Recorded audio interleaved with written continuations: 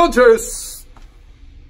ということで、えー、今日なんですけどもね、私ちょっと一本の映画を、これまた珍しく、久しぶりに映画館で見たんですよ、これ。もうね、10年ぶりかもしんない。もしかしたら10年ぶりぐらいに、映画館で映画を見たんですね。うん。で、今日はその映画について、ちょっと私のなりのレビューをね、ちょっとしようかなと思ってます。どの映画見たかというと、これです。ビビアン・ウェストウッド最強のエレガンツという映画がですね、今上映中なんですよね。こちらの映画をちょっと見てきまして、見てきました。はい。まあ、あのー、あんまりまあ上演関数は多くはないとは思うんですけど、まあ、あのー、都内だったら絶対やってると思うんでね、まあそういう映画でございます。現在も上映中でございます。で、まあ、あの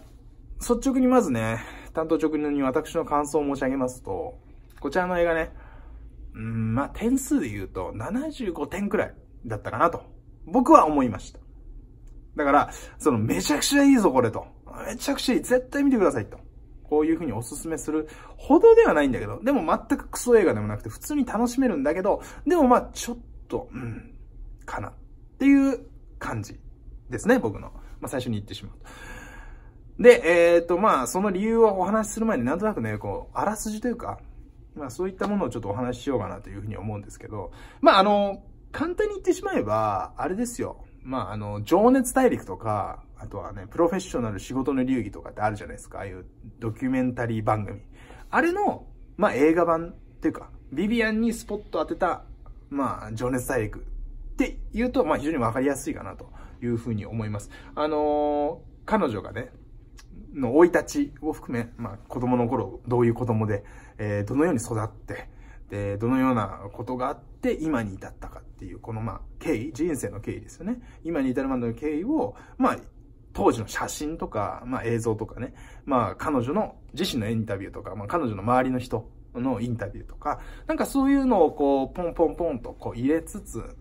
ビビアン・ウェストウッドっていう一人の人間の生き方っていうのを、まあ一つにまとめたっていうような映画でしたね。はい。ですと。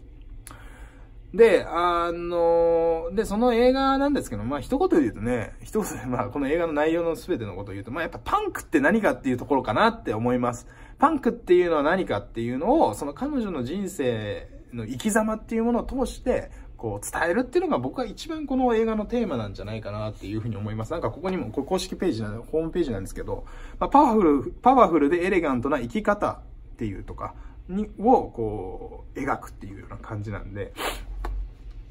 まあその生き方ですよね。で、それがまあ常にやっぱパンクっていうところと繋がってるっていう。まあそこですよね。で、僕もそこはすごい面白いな、面白いなと思いました。パンクっていうところ。うん、まあなんか、ね、世の中にパンクパンクってよく言うんですけど、じゃあパンクってどういうことかっていうことの真髄というかね、を見せてくれた生き方で示してくれてる、背中で示してくれてるのかなと思います。で僕なりの解釈を申し上げますとね、えー、っと、まあ、パンクっていうのはさ、まあ言ったら反骨精神とかこう、何かに抗うっていうような、まあそういうニュアンスってね、世の中にあると思うんですけど、まあアンチというか、カウンターカルチャーというかね。うん、だけど、なんか僕がこの映画を見て感じたのは、やっぱその、何？パンクだからとか言ってね、何でもかんでも抗えばいいかと。それは、そういうわけじゃないというか。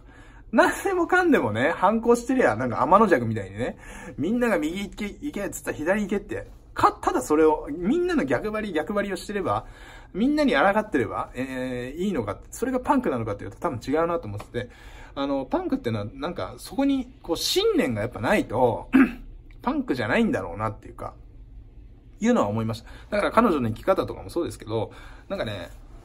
言ったらその反抗するってことは目的じゃなくて結果というか、まあ彼女は自分の信念を持って今までずっと生きてきてね、こうしたいとか、これが正しいだろうとか、こういうことなんだろうとか、なんかその自分なりの信念みたいなものを持ち続けて、いろんなことをやると。そうすると、まあ、なんていうかな、その彼女の信念が社会に受け入れられない時、既存の社会に受け入れられない時があってね、ルールとか。で、そういった時に、まあ多分それを、こう、自分の意志とともにこう、貫き通すっ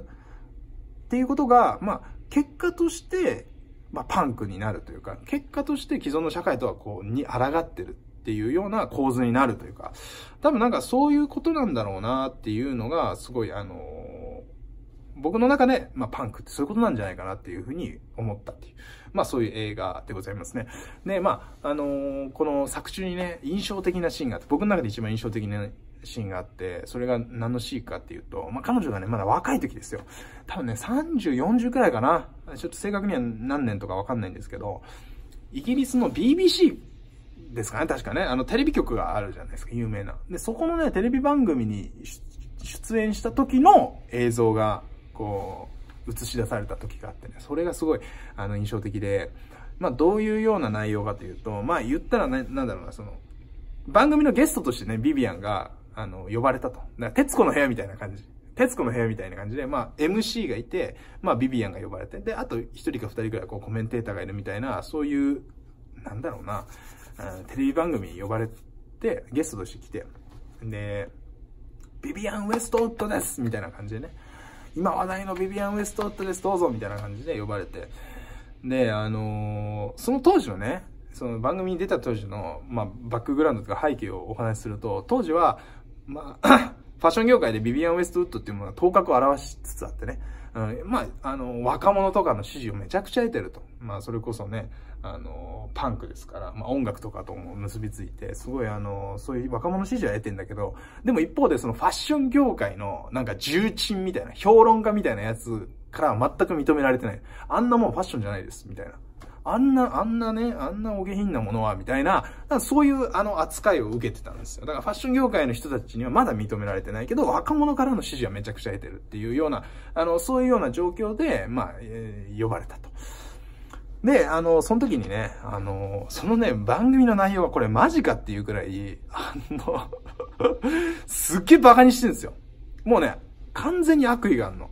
もう番組側に、制作側というか、もう MC も含め全員、ビビアンをこうバカにしようというか、国旗を殺そうっていうか、もうそういう意図が丸見えの番組でね。で、どういうシーンだったかというと、あの、ビビアンが出てきて、その、まあ、最新のコレクションを、こう、何個か作品っていうか、服見してもらいましょう、みたいな、あの、コーナーになって、で、あの、彼女の最新作を着たモデルがね、何体かこう、パンパンパンって出てくるっていうようなとことがあってね。で、出てきて、出てきた瞬間、まず、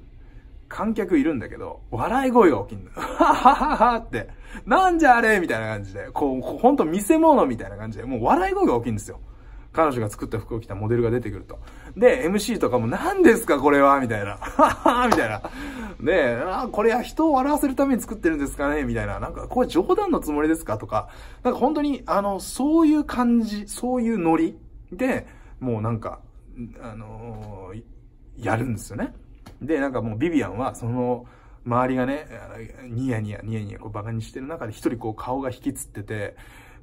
こん、なんだ、みたいな、ちょっと混乱しつつ、でもなんかブチ切れたりすることもなくね、あの、まあ、冷静になんか、まあ、あの、こう、その場ではいたんだけど、まあでもなんかそういうシーンがあった後に、後にね、えー、その、また別のシーンで、今度その、その後だよね、彼女が、まあ、そうやって結果を出してね、あの、ロンドンの、イギリスかな？なんかデザイナーズ・オブ・ザ・イヤーみたいな、なんかその、その1年で一番活躍したデザイナーを決める賞みたいなものがね、なんかあったらしいんですけど、それにビビアンは今までずっと受賞の逃してきたと。うん。それは、あの、もう完全にファッション業界の重鎮どもの、その圧力とかがあって、結果、明らかに結果出してるビビアン。絶対もう、みんなに聞いたら、いや、ビビアンだろうってなんだけど、もう圧力がかかってるから、クソみたいなデザイナーが毎年選ばれてるらしいんですよ、その当時ね。で、なんでビビアンが、ビビアンが、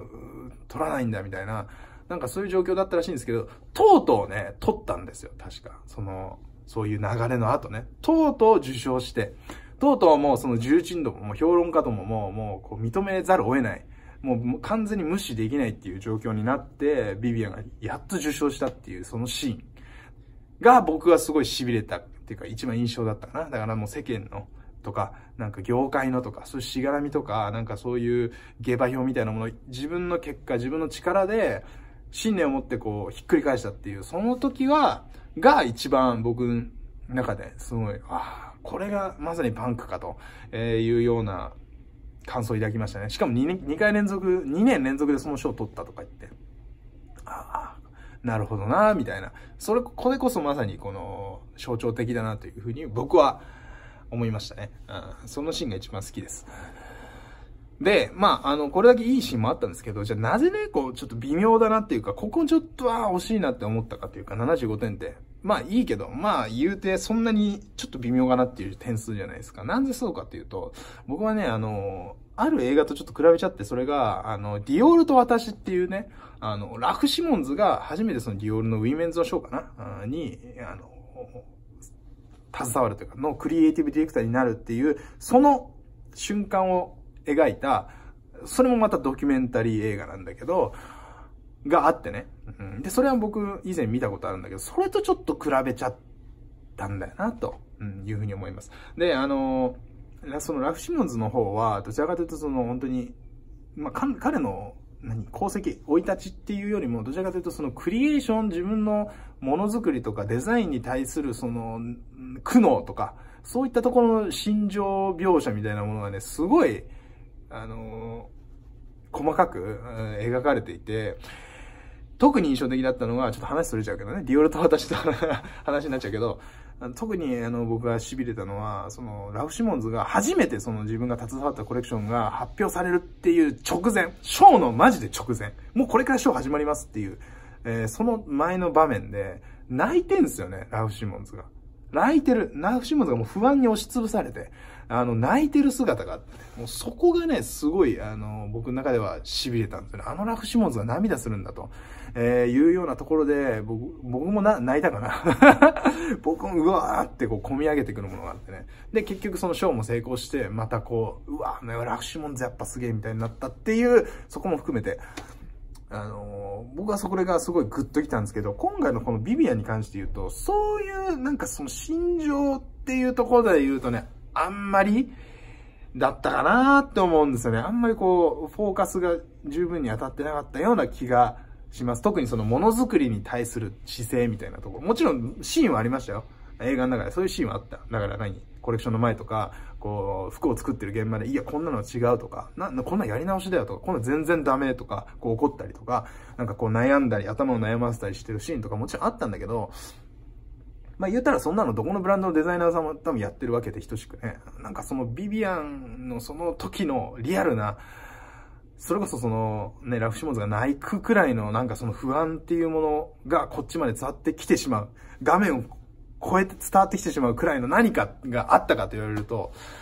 まあ、そこがちょっとなみたいな、こう、魂が動いたかと言われると、ちょっとまあ、あんまり震えなかったというか、ぐわーってこう、込み上げてくるものがあったかって言われると、それがちょっと欠けてたかな。だから、なんか本当に情熱大陸とかを見てる感じになっちゃったんだよな。なんか作品っていうよりも、番組というか、なんかそういうような感じに近い、えー、風になっちゃった、なってたなっていうのが、まあ僕はちょっと、あの、点数が落ちた。うん、まあ偉そうですけど うん、やっぱそのディオールと私ってね、あのラフシモンズの方がもうほんと痺れましたね、まあ、そこと比べちゃったっていうのもあるかもしれないです。はい。まあ、とはいえね、普通にまあ見たら楽しめる映画だし、まあ、映画館で見るもよしだし、DVD で見るもよし、絶対まあ、あの、一見の価値ありというか、まあそういう映画かなというふうには思いますから、はい。あの、まあ、もしよろしければね、見ていただければなぁというふうには思います。はい。そんな感じですかね。はい。では。